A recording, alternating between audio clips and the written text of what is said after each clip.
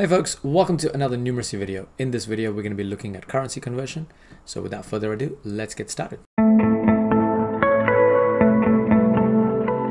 Okay, so um, when it comes to currency conversion, um, you're literally just doing ratio questions.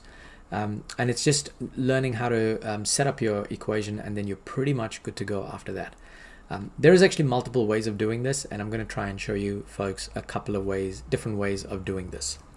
So with the first question, what I've got here is I am going to be doing this. I've got one NZ dollar is roughly 0.94 AUD.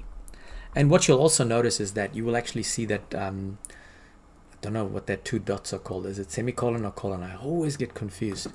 Um, but anyway, that thing there usually means is that for every one New Zealand dollar, you're getting 0.94 um, Australian dollars. Now you're trying to convert 10,000 New Zealand dollars. Now this pretty much kind of works in the same way as um, how you deal with fractions, right? So if you think about it like this, I am going to multiply the 1 NZD by 10,000 because if I do that, I am going to get 10,000 New Zealand dollars. Which means if I want to figure out what the Australian dollars is, I've still got to follow that same number that I multiply by, which is 10,000. So here I'm actually going to go 10,000 multiplied by 0.94. And when I do this, I actually end up with 9,400 Australian dollars. And that, folks, is pretty much how you do these types of questions. So let's have a look at um, the Japanese yen here. We've got one Japanese yen is roughly 0.012 New Zealand dollars. So looking at question two here, again, we're going to kind of do the same thing here. So we've got one Japanese yen is equal to 0.012 NZ dollars. And we're trying to figure out how much New Zealand dollars would get for 50,000 Japanese yen. So that means we're going from one Japanese yen to 50,000. That means we need to multiply the Japanese yen by 50,000. And if we do that, we're going to get 50,000 Japanese yen. So pretty much repeating the same process on the other side, we are going to multiply the 0.12 by 50,000. And so 0.12, no, I should have said 0.012 multiplied by 50,000. That's 5, not 50,000, and that's equal to 600 New Zealand dollars. There we go.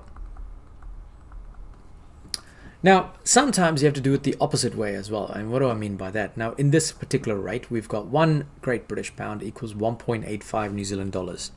So one Great British Pound is equal to 1.85 New Zealand dollars.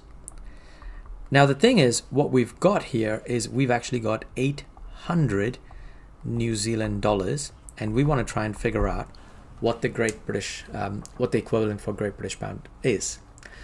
Now, unfortunately, we don't know what number we're multiplying 1.85 to get to 800. So you've got to work that out first. So what we're going to do is we're going to go 800 and we're going to divide it by 1.85. Now, when we do this, we are going to get this horrible looking number here, which unfortunately is a recurring um, decimal. And because it's a recurring decimal, what I'm going to do is I'm going to leave it as a fraction. Now you might be thinking, hang on, why are we doing this? But let me just bear with me.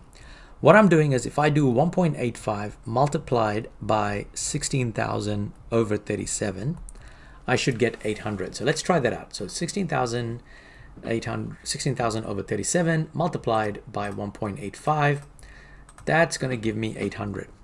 So because I've got that ratio that I need to multiply it with, or the, the coefficient, I'm going to multiply 1 with 16,000 over 37. Now, the interesting thing is that I'm still going to end up with the same answer of the coefficient because it's actually 1 Great British Pound. So 16,000 multiplied, um, no, hang on, we're going to go 16,000 over 37 multiplied by 1 should just give us the same answer as is.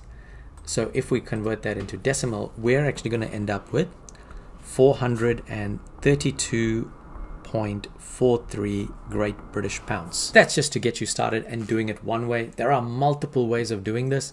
Um, I've seen people do this as a um, similar fractions and they try and do that that way as well. So um, yeah, there's quite a few ways to potentially do um, currency conversion. All right, folks, that is basically it for this video. As always, don't forget to like this video, share this video, and subscribe to keep up with the latest content. Now, there should be a couple of playlists popping up here and here.